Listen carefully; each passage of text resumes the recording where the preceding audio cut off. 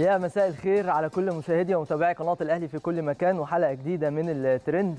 حلقات الترند دايما بتكون حلقات مهمة جدا وبنتكلم في كل ما يشغل أذهان حضراتكم وبتتكلموا فيها على مواقع التواصل الاجتماعي على ال social media وهي كلها في الحقيقة قضايا بتهم النادي الأهلي ودايما بنكون معاكم لحظة بلحظة في كل هذه الأمور. بالتالي حلقة النهارده حلقة غاية في الأهمية وتحديدا فقرة ترند ترند اللي هتكون مع بداية الحلقة هتكون فقرة مهمة للغاية. كمان إحنا منتظرين تفاعل حضراتكم معنا من خلال صفحات القناة المختلفة على ال social media سواء تويتر فيسبوك وإنستجرام. وسؤال حلقتنا النهارده توقعاتك لتشكيل مباراة الغد ما بين الأهلي وأسوان؟ توقعاتك لتشكيل الأهلي هتكون إيه؟ مع نهاية حلقة النهارده هنعرض توقعات حضراتكم ونتناقش فيها كمان معاكم. في البداية وقبل أي كلام خلينا نروح نشوف عناوين الترند النهارده. يلا بينا.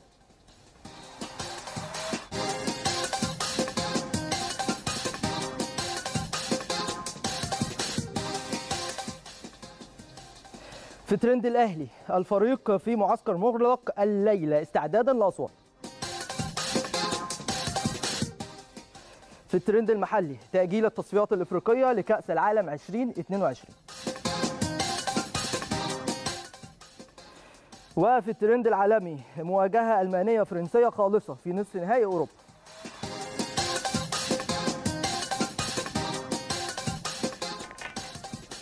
طيب بصراحة يعني في موضوع مهم جدا لازم نتكلم فيه وأنا هتكلم فيه في الفقرة المفضلة بالنسبة لكم وهي فقرة ترند الترند واللي بنقول فيها سواء يعني خبر جديد أو معلومة جديدة أو بنتناقش فيها في بعض المواضيع الهامة اللي بتم حضراتكم بكل تأكيد. فبالتالي أنتم متعودين مننا دايما إن إحنا بنناقش المواضيع بمنتهى المنطقية وكمان بمنتهى الأمانة مع حضراتكم. والترند خلال الفترة اللي فاتت كلها أو خلال آخر يومين ثلاثة هو موضوع رمضان صبحي. وإحنا اتكلمنا فيه امبارح لكن في شق جديد في الموضوع ده وهو فيما يتعلق باكرامي الأب واكرامي الابن. كابتن اكرامي الشحات والكابتن شريف إكرامي. وهيفضل شهية الإعلام مفتوحة وشهية الجماهير مفتوحة للحديث عن هذا الملف تحديدا. فبالتالي إحنا دورنا إن إحنا نوضح لحضراتكم الحقائق. ده دور قناة النادي الأهلي ودورنا إحنا كمذيعين في قناة النادي الأهلي. والحقائق بتبقى آه لازم تكون معروفة لحضراتكم وإحنا هنقول فأنا في البداية الملف ما بيخصش رمضان بس دلوقتي بيخص ثلاثة رمضان إكرامي كبير وإكرامي الصغير. شريف إكرامي ولهم مننا كل التقدير والإحترام. أنا عايز أبتدي بإكرامي الأب وهو الكابتن طبعا إكرامي الشحات. وهو امبارح في الحقيقة كان في لقاء تلفزيوني واتكلم وقال بعض الكلمات اللي أنا عايز أتوقف عندها شوية. وقال إيه الراجل؟ قال أنا ماليش أي صلة بموضوع رمضان صبحي وما بتواصلش خالص مع رمضان صبحي وأنا ما أقدرش اكذبك يا كابتن إكرامي ومحدش يقدر يكذبك ابدا وأنا مصدقك لكن في نفس الوقت بصراحة مصدق. جدا جدا على مدار الشهر اللي فات تحديدا مداخلات حضرتك في كل البرامج التلفزيونية وكلامك الدائم عن تمنياتك لرمضان بالاحتراف الخارجي وبالانتقال من النادي الأهلي. كل حاجة كل الحاجات دي بصوت وصورة أكيد حضراتكم سمعتوها مش أنا بس يعني. فأنا برضو مصدق الجزئية دي يا كابتن إكرامي يعني. فدي الجزئية اللي تتعلق بالكابتن إكرامي الكبير وأنا هسيب لحضراتكم التعليق في ما يتعلق بيه هو يعني. ومن خلال متابعتكم وقرايتكم للموقف وأنا دايما براهن على ذكاء جمهور النادي الأهلي. الشق الآخر وهو فيما يتعلق بالكابتن شريف إكرامي و كلامه على تويتر امبارح على حسابه الشخصي على تويتر. وكلام كان مهم جدا في الحقيقة. وعايز افنده مع حضراتكم شوية لأن اللعب على مشاعر مشاعر الجماهير في الحقيقة بقى كتير قوي. واللعب على مشاعر الجماهير بقى بشكل مبالغ فيه. ففي حقائق كده لازم نتكلم فيها مع بعض. وممكن تكون حضراتكم رابطين الموضوع بإن إكرامي شريف يعني إكرامي.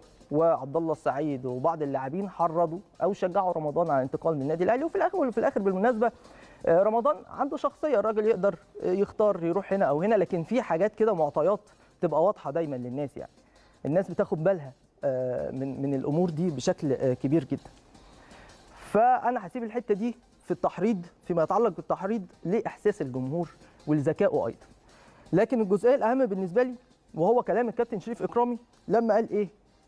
نبتدي بأول حاجة يا جماعة لما قال أقدر جدا حزين آه، أو حزن آه، وغضب الجماهير آه، إزاء قرار آه، رمضان وايا كان درجة القرابة بيننا فلا تعطيني حق التحدث في أي تفاصيل تخصه. وما يعنيني هنا هو توضيح الصورة الغريبة التي يتخيلها الكثيرون. هو في الحقيقة الصورة الغريبة اللي بيتخيلها الكثيرون هي مش غريبة. هي الغريبة كلامك أنت يا كابتن آه، شريف آه، اللي أنت كتبته آه، على حسابك الرسمي على تويتر. وكلام في الحقيقة أنا مستغرب توقيته بصراحة يعني. وأنا بصراحه يعني من الآخر كده أنا بتربطني بشريف علاقه آه، طيبه يعني وعلاقه احترام يعني. لكن لما الموضوع يجي عند النادي الاهلي لازم نحط النقط على الحروف ولازم نوضح كل الحقائق لجمهور النادي الاهلي. قال لك إيه بقى؟ قال لك اولا كنت أو خلي بالك بقى من الكلام اللي جاي ده عشان بجد يعني كلام مهم قوي مهم جدا يعني. اولا كنت أول الداعمين بشدة لرمضان إمتى؟ من أربع سنين فاتوا. لبدء مشواره الاحترافي رغم معارضة البعض داخل النادي الأهلي. استنى بقى ناخدها واحدة واحدة وحتة حتة عشان الجزئية دي إيه؟ مهمة قوي أول الداعمين بشدة هو مين؟ مين اللي بيدعم ده؟ مين اللي كاتب السطور دي؟ بإيده شريف اكرامي اللي هو مين؟ اللي هو كابتن النادي الأهلي سواء من أربع سنين أو دلوقتي. سواء من أربع سنين أو دلوقتي. كابتن النادي الأهلي بيدعم لاعب مهم في النادي وهو المفروض كابتن النادي الأهلي ده بيبقى قلبه على النادي. يعني بيبقى عايز إيه؟ النادي ده يبقى في أحسن حال والأهلي يكسب أو فريقه يكسب وجمهوره يفرح وكلام من ده. ده المفروض يعني. فكنت أول الم- المؤيدين والداعمين بشدة رمضان منذ أربع سنوات لبدء مشواره الاحترافي رغم معارضة البعض داخل النادي الأهلي بسبب التوقيت لرغبتهم لرغبتهم اللي ليهم حق فيها وطبيعية جدا جدا يعني في استمراره داخل الفريق لتحقيق أقصى استفادة فنية من اللاعب كأن ده أو دي جريمة عند المسؤولين في التوقيت ده إن هم يحافظوا على لاعب بامكانيات رمضان صبحي إحنا مش مختلفين عنها اطلاقا. إمكانياته مش مختلفين عنها اطلاقا. لكن هو شايف من وجهة نظره واضح كده إن آه، دي حاجة آه، غريبة. لكن بيقول لك في النهاية سافر رمضان وكلام من ده واحترف يعني بعد مفاوضات حققت مصلحة الطرفين. لكن في حقيقة برضه أنا عايز أقولها لحضراتكم إن النادي الأهلي ما وافقش على احتراف رمضان في التوقيت ده غير بضغط كبير جدا من اللاعب وببعض التصرفات اللي أكيد حضراتكم عارفينها. وتصرفات آه، عشناها في التوقيت ده من قبل اللاعب نفسه اللي هو رمضان آه، آه، صبحي. فبالتالي كان الطريق الوحيد في التوقيت ده عند المسؤولين الموجودين أو مجلس الإدارة الموجود إن هو يوافق على احتراف اللاعب. يعني الموضوع جه بضغوط كبيرة جدا على النادي ال- الأهلي يعني. تمام؟ نروح لجزئيه أخرى. وهو بيتكلم كمان بيقول لك إيه؟ من سنتين منذ عامين كنت أول الرافضين كمان. يعني بعد الأربع أعوام اللي فاتوا يعني من أربع سنين فاتوا هو كان رافض. أو كان مؤيد عفوا يعني لرحيل رمضان. دلوقتي بقى هو كان رافض لمبدأ عودة رمضان داخل مصر. وهو مين؟ كابتن النادي الأهلي اللي هو مين؟ شريف اكرامي قائد فريق النادي الأهلي. كنت أول رافضين لمبدأ عودة رمضان داخل مصر. برغم حبي للأهلي وعلمي باحتياج النادي له حينما أو حينها سواء بالأعارة أو البيع. يعني هو الراجل إيه؟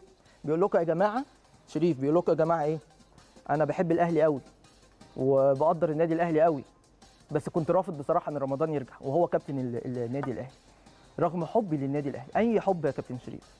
أي مسؤولية تتكلم عنها؟ أنهي انتماء بتتكلم عنه يا كابتن شريف؟ حب إيه وانتماء إيه وكلام إيه؟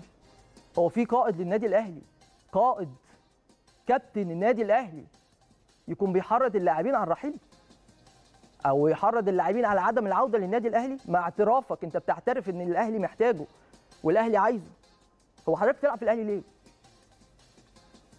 يعني أنت أنت الفترة اللي فاتت دي كلها بتلعب في الأهلي ليه يا كابتن شريف؟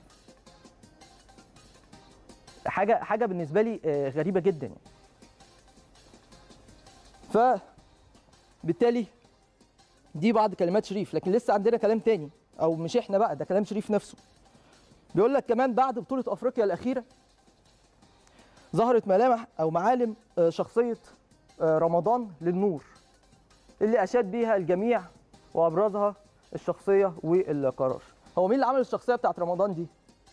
معايا يا كابتن شريف؟ مين اللي عمل شخصية رمضان؟ طيب هو رمضان آخر مشاركة ليه مع منتخب مصر كانت إمتى؟ منتخب مصر الأول كان في كأس العالم على ما أتذكر إن لم تخني الذاكرة. فين؟ في 2018 في روسيا. كانت آخر مشاركة لرمضان. بعديها تقريبا رمضان ما راحش مع المنتخب الأول خالص. تمام؟ واحترف بره وكلنا كنا بندعمه وبنسانده ويعني أي لعيب بيحترف أو بيمثل مصر بره بندعمه طبيعي جدا زي نجمنا المصري محمد صلاح. فعمل إيه هو بره؟ كانت فين شخصية رمضان صبحي؟ لما كان في هادرسفيلد أو قبليها لما كان في, في ستوك سيتي الإنجليزي. اللي عمل شخصية رمضان صبحي هو النادي الأهلي. لما رجع رمضان وساعد رمضان على حاجات كتير قوي. ساعد رمضان على عودة مستواه رقم واحد. ساعد رمضان على يكون إنه يكون عنده الشخصية اللي أنت بتتكلم عنها رقم اتنين. ساعد رمضان إن هو يكون متواجد في المنتخب الأولمبي ويساهم في بطولة مهمة لمصر رقم ثلاثة وهو ما كانش في خطط الكابتن شوقي غريب لأنه كان بعيد عن مستواه وما كانش بيشارك ولا بيلعب. مين اللي عمل شخصية رمضان؟ مش النادي الأهلي برضه ولا لأ؟ فكر في الكلام. برضو من ضمن الأمور اللي غريبة واللي لازم أقف عندها وناشد الجماهير اولا كقائد كقائد للاعبين بوضع استقرار الفريق كأو كأولوية خلال الفترة القادمة. هو بعد إذنك كده معلش يا كابتن شريف يعني. هو الكلام اللي حضرتك كاتبه ده ده كاتبه إمتى؟ ده من من أقل من 24 ساعة. من 24 ساعة بالظبط تقريبا. فأنت بتناشد إيه؟ في وقت أنت بتكتب فيه إيه؟ بأنهي منطق وبأنهي عقل؟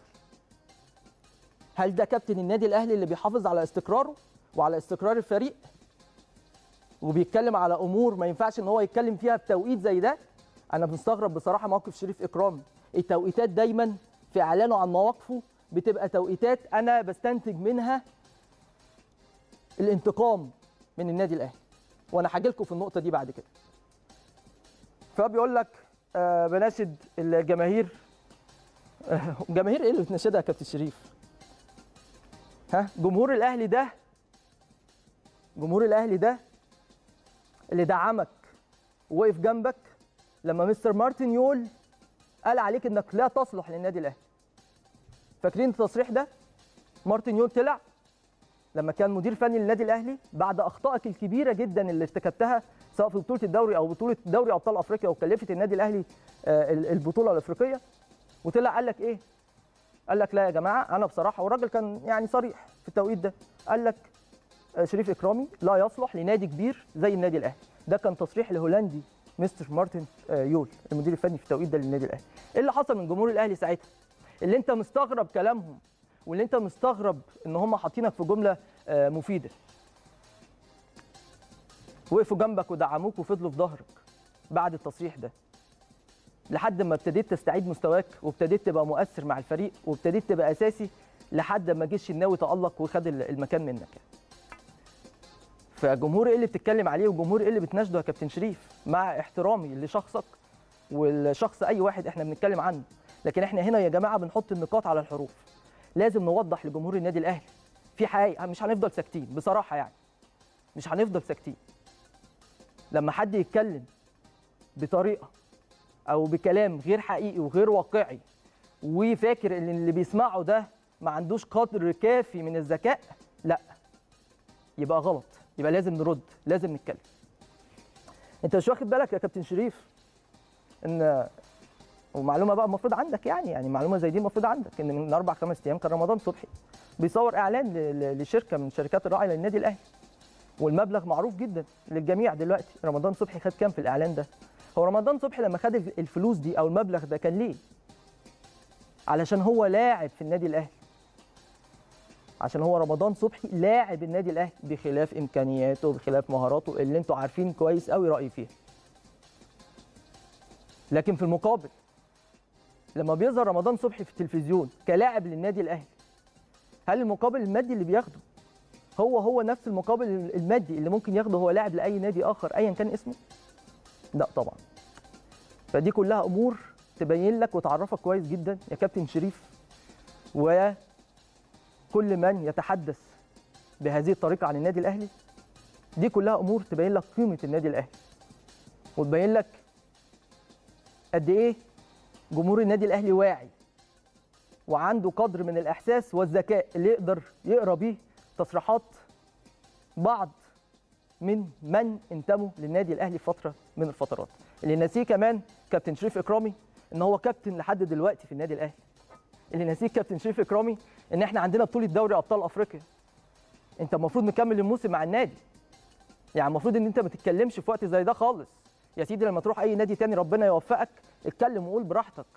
لكن الواضح إن أنت بتنتقم من عدم تجديد النادي الأهلي لعقدك. أنا عمري ما شفت حد عايز يكسب كل حاجة في الدنيا.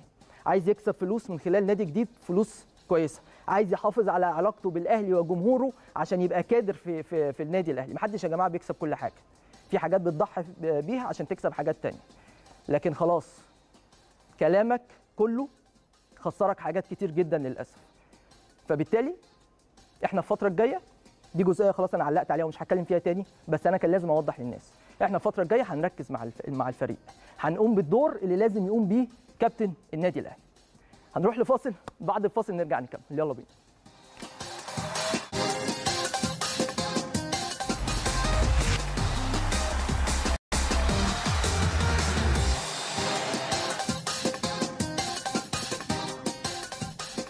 يعني في الحقيقة آه، الموضوع متعلق ب... ب...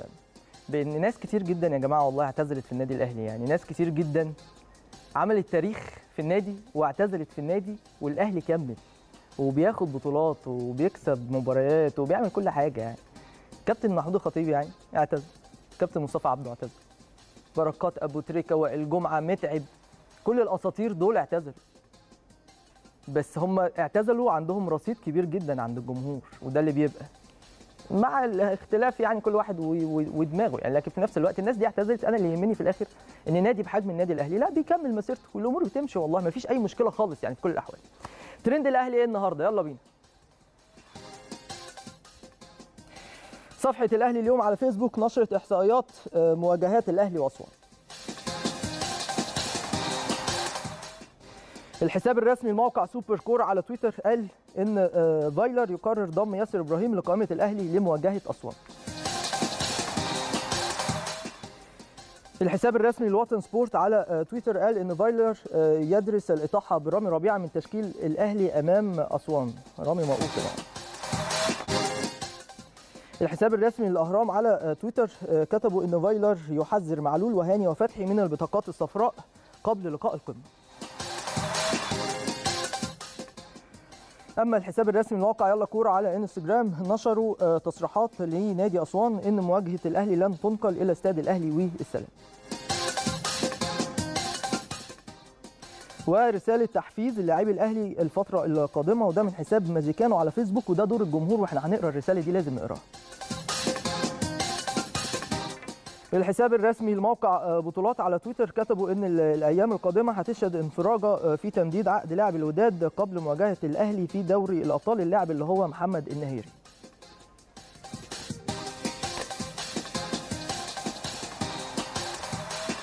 طيب هعلق على بعض الأخبار آه، سريعا قبل ما ناخد زميلنا العزيز كريم أحمد مراسل الأهلي عشان نطمن من خلاله على كل ال- الأمور اللي بتتعلق بالفريق قبل 24 ساعة من مباراة ال- الغد.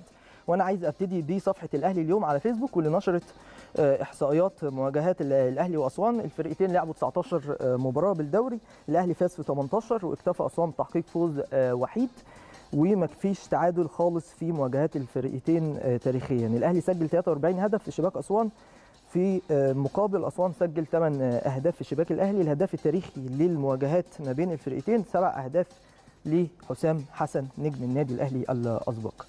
طيب آه، كمان الحساب الرسمي موقع سوبر كورة قال آه، آه، إن فايلر يقرر ضم ياسر إبراهيم للقائمة. ياسر إبراهيم خف خلاص وبقى جاهز للتواجد في قائمة النادي الأهلي بكرة. قبل ما أروح لكريم كمان في جزئية مهمة للوطن سبورت اتكلموا عنها وهي موضوع الإطاحة برامي ربيعه من تشكيل الأهلي هم بس فايتهم حاجة يعني ودي بتحصل ما فيش مشكلة. إن رامي موقوف هتقول لي إزاي موقوف؟ وهو كان موقوف المباراة اللي قبل اللي فاتت. المباراة اللي قبل اللي فاتت هو اتوقف فيها عشان خد طرد في مباراة سموحه ما قبل آه، كورونا آخر مباراة قبل آه، كورونا. لكن كان في رصيده انذارين خد الإنذار الثالث في مباراة الإنتاج فبالتالي هيغيب عن المباراة القادمة. الرسالة بس اللي عايز أقراها قبل كريم وده أمر مهم جدا لأن ده الدور اللي لازم كلنا نقوم بيه خلال الفترة الجاية واللي قام بيه طبعا كمان حساب ماجيكانو على فيسبوك. وقالوا رسالة تحفيزية للاعبي الأهلي خلال الفترة القادمة. قالوا إيه؟ قالوا لازم نقفل على الفريق الفترة اللي جاية. تمام؟ ونبعد اللعيبة عن الأحداث اللي بتحصل دلوقتي دي. لازم يكون في تركيز كبير الفترة اللي جاية لأن بعد شهر تقريبا هنلعب نصف نهائي إفريقيا ودي البطولة الأهم بالنسبة للجماهير في الوقت الحالي مع حسم الدوري طبعا بإذن الله. إحنا في أهم فترة في الموسم في الموسم لازم اللعيبة تفهم كده وتبعد نفسها عن أي حاجة تشتت تركيزها. كلام مهم قوي من جمهور النادي الأهلي. نروح لكريم. يا مساء الخير عليك يا كريم. أهلا بيك. كل التحية ليك زميلي أمير هشام برحب بيك طبعا برحب بكل مشاهدي ومتابعي قناة الاهلي في كل مكان. أهلا بيك يا كريم. طبعا زي ما حضراتكم شايفين معانا كريم من استاد مختار التتش واستعدادات النادي الأهلي الأخيرة لمواجهة الغد أمام أسوان. طمنا يا كريم إيه الجديد عندك؟ كالعادة طبعا يعني زميلي أمير طبعا بنقول مفيش راحة وضغط مباريات كبير جدا تحديدا كمان مباراة أسوان اللي بيستعد لها النادي الأهلي بكل جدية وبكل قوة غدا على استاد القاهرة في تمام الساعة 9 مساء جولة 20 إن شاء الله كالعادة في البداية بنتمنى كل التوفيق للنادي الأهلي في هذه المباراة. تأكيدات أكيد من الجهاز الفني مستر ريني فايلر كابتن سيد عبد الحفيظ غلق الصفحة تماما للمباراة الأخيرة بالنسبة طبعا للتعادل الأخير. هدفنا طبعا هو الثلاث نقاط لكن كل مباراة أنت عارف زميلي أمير بيكون ليها ظروفها وليها أمور عديدة جدا. فإن شاء الله بإذن الله تكون انطلاقة جديدة وهي إن شاء الله بإذن الله تكون مباراة أسوان ثلاث نقاط يكونوا مهمين كالعادة لفريق النادي الأهلي للاستمرار في سلسلة الانتصارات والحصول أيضا إن شاء الله بإذن الله على بطولة لقب الدوري العام تدريجيا. كده بناخدها خطوة خطوة مباريات عديدة ومباريات قوية وكمان تحديدا مباراه أسوان القادمة هتكون مباراة مهمة جدا لفريق النادي الأهلي لأن عنده مباراة الزمالك. المباراة اللي هتكون يوم 22 إن شاء الله. لكن كالعادة كل مباراة بيكون ليها تركيزها الكامل لفريق النادي الأهلي للجهاز الفني وده اللي أكد عليه مستر ريني فايلر. كان في محاضرة فنية قبل انطلاق المران. المران يمكن نقدر نقول هو خمسة ونص تماما هيكون التدريب بالفعل الرئيسي لفريق النادي الأهلي. المحاضرة الفنية اتكلم فيها بشكل كبير جدا الجهاز الفني على غلق الصفحة تركيز الفترة القادمة. والتأكيد كمان يا أمير على الدخول في المباراة يكون بشكل قوي وبشكل جيد جدا. شفنا المباراة الأخيرة دخول فريق النادي الأهلي ما كانش بالشكل المطلوب لكن ده اللي بيأكد عليه كل الجهاز الفني لابد يكون الدخول بشكل قوي استغلال أنصاف الفرص. وزي ما طبعا ما إحنا شايفين تدريب فريق النادي الأهلي بدأ بالفعل الجهاز الفني الكل بيأهل اللعيبة لهذه المباراة. وزي ما انت ذكرت طبعا أنا عايز أتكلم على أكثر من نقطة بالنسبة لرامي ربيعة تحديدا. يعني في ناس كتير ذكرت إن رامي ربيعة خارج الحسابات الفنية لكن زي ما انت أكدت زميلي أمير رامي ربيعه حصوله على إنذارين في مباراة سموحة ثم الطرد وأكيد في المباراة الأخيرة إنذار كمان فثلاث إنذارات بيعود كمان بقى خلاص بعد رامي ربيعه وإيقافه بيعود أيمن أشرف عندنا باد لك شوية بالنسبة لخط الظهر يعني ياسر إبراهيم إصابة أيمن أشرف بيغيب وبيعود رامي ربيعه بيغيب وبيعود تاني لكن. إن شاء الله بإذن الله لابد يكون لعيبة النادي الأهلي عندها حرص كبير جدا في التدخلات في الحصول على الإنذارات لأن عندنا عدد كبير من اللعيبة سواء عندهم إنذار واحد أو إنذارين يعني اللي عندهم إنذارين طبعا محمد هاني وعلي معلول وأحمد فتحي أكيد من التأكيد إن الجهاز الفني حذرهم بشكل كبير جدا لابد يكون تدخلات يعني ما يبقاش فيها عنف شوية الالتزام ضبط النفس بشكل كبير جدا في المباريات لأن محتاجين كل اللعيبة إن شاء الله خلال المرحلة القادمة. كمان ياسر إبراهيم أنت أكدت عليه بيعود من جديد درب بشكل كبير جدا وخد جرعة تدريبية كويس. كاملة أمس في تدريب الأمس والنهاردة كمان هيكون متواجد بشكل قوي جدا. أيضا محمود متولي ومروان محسن يعني الاثنين طبعا كان عندهم بعض الإجهاد العضلي اشتكوا منه في تدريب الأمس لكن مع اطمئناننا طبعا من خالد محمود طبيب النادي الأهلي أكد إن هو يكونوا متواجدين اتعمل لهم ريكفري كويس جدا أمس إن شاء الله يكونوا متواجدين في مباراة الغد المباراه أكيد هتكون قويه لفريق النادي الاهلي. احترام المنافس ده اللي اكد عليه الكابتن سيد عبد الحفيظ لكل اللعيبه. لابد يكون في احترام جيد جدا استغلال الفرص الدخول في المباراه. التكتيك كمان كل مباراه لها متطلبات ليها ظروف ليها لعيبه. وممكن نشوف بشكل كبير جدا تغييرات في. في فريق النادي الاهلي أو في تشكيل فريق النادي الاهلي غدا إن شاء الله في هذه المباراة. طيب كريم عايز أطمن على الحالة المعنوية والذهنية عند لاعبي النادي الأهلي. عقب التعادل الأخير أمام الإنتاج وقبل فترة حاسمة ومهمة جدا في مشوار النادي الأهلي سواء محليا وافريقيا. آه لسه شوية على الجانب الأفريقي لكن أنت عندك ماتشين ورا بعض. بنركز في ماتشات اللي بتواجهنا في الأول مباراة أسوان وبعد كده عندك مباراة الزمالك يوم السبت بإذن الله تعالى. الحالة الذهنية والمعنوية عند لاعبي النادي الأهلي من خلال رؤيتك داخل الملعب. نقطة مهمة جدا طبعا زميل أمير وهي حالة التركيز والرغبة والتجديد الدوافع بشكل كبير جدا وده اللي بيقوم بيه اللعيبة الكبار يعني أقدر أقول لك إن اللعيبة الكبار سواء الشناوي ووليد سليمان مش عايز أنسى حد من كل اللعيبة الكبار النهاردة جمعت اللعيبة قبل التدريب والحديث كله أكيد طبعا عن التركيز على المرحلة القادمة ولابد يكون في دوافع متجددة بشكل كبير جدا عن اللعيبة عندها رغبة طبعًا بشكل طبعًا. كبير. الهدف هو إسعاد كل جمهور النادي الأهلي وأنت عارف جمهور النادي الأهلي ما بيقبلش غير بالثلاث نقاط لكن بنأكد كل مباراة بيكون ليها ظروف بيكون ليها استثناءات بيكون اللعيب سواء في باد لك النهارده متواجد أو الفريق بشكل عام بيكون في باد لك ليه في المباراة. لكن بأكد لك إن في حالة جاهزية بشكل كبير جدا. خلاص الصفحة اتقفلت بشكل كبير بالنسبة لعيبه النادي الأهلي. المعنويات مرتفعة الأمور كويس، كلها إن شاء. الله بإذن الله تصب في مصلحة فريق النادي الأهلي. كل اللعيبة مركزة كل اللعيبة إن شاء الله عندها أمل كبير جدا بإذن الله إن هي تستمر في سلسلة الانتصارات. بيبان في الجدية يا أمير وبيبان في التدريبات وبيبان الحماس الكبير وده اللي بنأكد عليه لما بنقول عندنا ثقة كبيرة في لعيبة النادي الأهلي. ما بنقولهاش من فراغ لأن بنشوف حماس وجدية كبيرة جدا. التوفيق بتاع ربنا سبحانه وتعالى طبعا بالنسبة للفوز أو التعادل أو الخسارة لكن إن شاء الله بإذن الله لعيبتنا جاهزة إن شاء الله بإذن الله إن هي تحصد إن شاء الله بإذن الله ثلاث نقاط هيكونوا مهمين جدا لفريق النادي الأهلي. بإذن الله تعالى. كريم أنا بشكرك. شكرا جزيلا. زميلنا العزيز كريم أحمد مراسل قناة ال- الأهلي كان معانا على الهواء مباشرة من استاد مختار التتش وطمنا بشكل كبير جدا على الفريق النهارده في مرانه الأخير قبل مباراة الغد أمام فريق أسوان.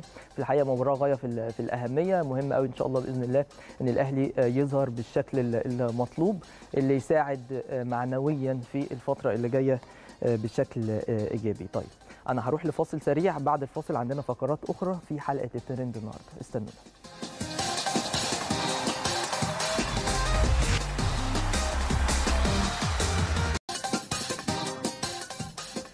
الترند العالمي فيه في الحقيقة عدد كبير جدا من الأخبار وتحديدا فيما يتعلق ببطوله دوري أبطال أوروبا وكمان فيما يتعلق بأفضل لاعب في الدوري الإنجليزي اللي تم حسمه لصالح آه، طبعا كيفن دي بروين. نجم آه، خط وسط فريق مانشستر سيتي ومن أحسن اللعيبه في العالم في الحقيقة. يعني لاعب مهم آه، جدا. فبالتالي خلينا نشوف الترند العالمي بيقول إيه. الحساب الرسمي للدوري الإنجليزي على تويتر يعلن آه، كيفن دي بروين آه، فوزه بجائزة لاعب الموسم في الدوري الإنجليزي الممتاز آه، 2019 2020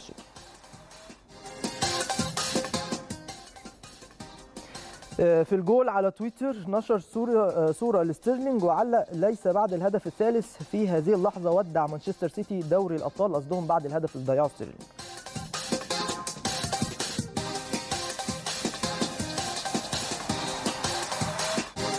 معايا عاجل دلوقتي؟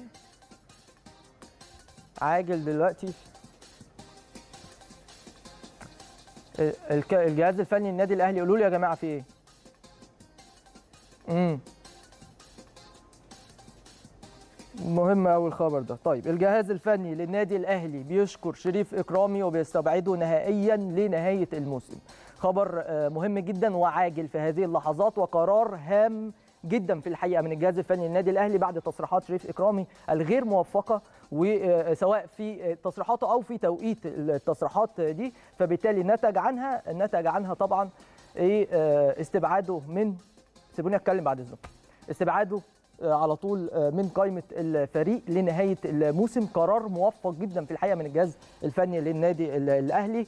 تاني يا جماعة يا ريت توروني ال- ال- الخبر قدامي دلوقتي على الشاشة. عاجل الجهاز الفني آه، للنادي الأهلي يستبعد شريف إكرامي ويشكره على الفترة اللي قضاها في النادي الأهلي ويستبعده لنهاية ال- الموسم. وده أمر آه، آه، مهم وخبر عاجل آه، جدا. وتاني هعيد على حضراتكم ده بعد إيه؟ بعد ما إن الناس اتفاجئت إن كابتن فريق النادي الأهلي بيتكلم بالأسلوب اللي هو اتكلم بيه امبارح. وفي الحقيقة ده أمر غير مطلوب وغير موفق اطلاقا وحاجة بصراحة غريبة جدا جدا جدا. وإحنا اتكلمنا في الجزئية دي تحديدا مع بداية ال- الحلقة. واتكلمنا وفصلنا مع حضراتكم التويتات اللي كتبها شيف إكرامي على حسابه الرسمي على تويتر وحطينا النقط على الحروف وقلنا كل الحقائق والواحد بصراحة بقى مستغرب يعني من الآخر كده أنا بقيت مستغرب. تصرفات غير مسؤولة من واحد إحنا دايما كنا بنشيد وبنقول عليه إن هو إيه العقل اللي هو فيه ده وإيه ال- الرزانة اللي هو فيها دي. أي رزانة. رزانة إيه يا راجل؟ إيه اللي أنت إيه اللي أنت بتعمله ده؟ إيه اللي أنت بتقوله ده؟ علاقتي باللاعب علاقة طيبة. لكن لما يبقى الموضوع عند النادي الأهلي لا يا جماعة يعني نقطة من أول السطر. لما الموضوع يكون عند النادي الأهلي وعند عدم تحمل المسؤولية الواضحة جدا جدا على واحد من المفترض إن هو عنده ما يكفي من الخبرات عنده ما يكفي من حب للنادي ال- الأهلي عنده آه، ما آه، يكفي من تاريخ مع النادي ال- الأهلي. فان أنت تلاقيه بيعمل كده نفسي ألاقي سبب. نفسي ألاقي سبب. هل هو حب إن أنت تكون متواجد أو بتقحم نفسك في شيء ما؟ آه، حب إن أنت لازم ترد على الناس. الناس بتتكلم. الناس ليهم رأي. عندهم إحساس وعندهم ذكاء. والكلمة دي اللي أنا اتكلمت فيها مع بداية ال- الحلقة في الحقيقة. اديهم حريتهم يتكلموا اديهم حريتهم يستنتجوا. عايز ترد؟ ما عنديش مشكلة إنك ترد. لكن اختار التوقيت المناسب للرد. شوف إيه اللي ينفع إيه اللي في مصلحة النادي اللي اداني كتير اللي استفدت منه آه، آه، كتير على مدار سنوات عديدة واعمله. إيه الصالح بتاعهم واعمله؟ فانا تاني هعيد على حضراتكم الخبر وهو خبر عاجل. النادي الأهلي يقرر استبعاد شريف إكرامي لنهاية الموسم وخروجه من قائمة الفريق. يعني بكده شريف إكرامي مش موجود مع النادي الأهلي خلاص لأن عقده خلص والنادي الأهلي كان رغبته واضحة في عدم التجديد للاعب. فبالتالي ده كان أمر متوقع. ليه متوقع؟ لأنه بعد تصريحات اللاعب امبارح بديهي جدا إن ده يبقى قرار النادي الأهلي. وإحنا عارفين الأهلي في الحاجات دي ما بيهزرش. آه، ما واحد زائد واحد يساوي اتنين على طول. أنا ما قصرتش معاك في حاجة أنت هتيجي تاثر شكرا ليك. والمواقف كتير. ويبقى النادي الأهلي دائما وابدا في مسيرته. ايا كان مين مشي مين اعتزل مين خان مين عمل بص الأهلي بيفضل موجود. على طول الأهلي بيحافظ على فريق بيبقى ده هدفه. آه هدفه كان نحافظ على اللاعبين لكن اللاعبين مش محافظة عليا مش عايزيني خلاص شكرا. مش بتأثر. المواقف كتير جدا وأسماء كبيرة جدا مشي بإمكانيات كبيرة بإمكانيات رائعة. بمستويات آه، ممكن تكون خدت وقت عشان تعوضها لكن بيكسب الأهلي بطولة بيكسب الأهلي مباريات بيفرح جمهوره. وهيفضل يفرح جمهوره وهيفضل يكسب البطولات لأن اسم النادي الأهلي وحده يكفي. سياسة النادي الأهلي اللي معروف عنها النادي على مدار مختلف مجالس الإدارات ال system اللي موجود هو اللي بينجح. هو موضوع موضوع system موضوع موضوع إدارة. أنت إزاي بتدير ملفاتك؟ إزاي بتقدر إن أنت تحقق أهدافك؟ رغم العقبات والصعوبات اللي بتواجهها. طبيعي جدا أنت في مشوارك في أي حاجة في شغلتك أنت. كواحد بتتابعنا دلوقتي. ايا كانت مهنتك إيه؟ ما بتقابلش أزمات؟ ما بتقابلش آه، مشاكل؟ بتقابل. لكن عقليتك هي اللي بتوديك للنجاح اللي أنت منتظره. فعقلية النادي الأهلي كده. النادي الأهلي بيفكر في مستقبل فريق. عنده limit وحدود معينة بيشتغل فيها. عشان مصلحة فريق ككل مش عشان مصلحة آه، لاعب. وفي الحقيقة حاجات صادمة كتير جدا الواحد بي- بيتفاجئ بيها آخرها بصراحة شريف إكرامي. فعشان كده قبل ما أختم على حضراتكم هكرر الخبر للمره الأخيرة وهو خبر آه، عاجل. النادي الأهلي يقرر استبعاد شريف إكرامي من قائمة الفريق وإنهاء مشواره مع النادي ال- الأهلي خلال الفترة القادمة. واللاعب الآن غير موجود على قوة النادي الأهلي لأن عقده انتهى. ده كان خبر عاجل وده خبر ترند. بنختم بيه حلقة الترند النهارده. بكرة حلقة جديدة إن شاء الله. هنتكلم فيها في كواليس كتير قوي. أهمها كواليس ما قبل مباراة الأهلي وأسوان لأن ده الأهم واللي هنزق فيه الفترة الجاية عشان مصلحة نادينا اللي المفروض أبنائه يكونوا عارفين مصلحته كويس جدا. استنونا في حلقة بكرة من ترند. سلام.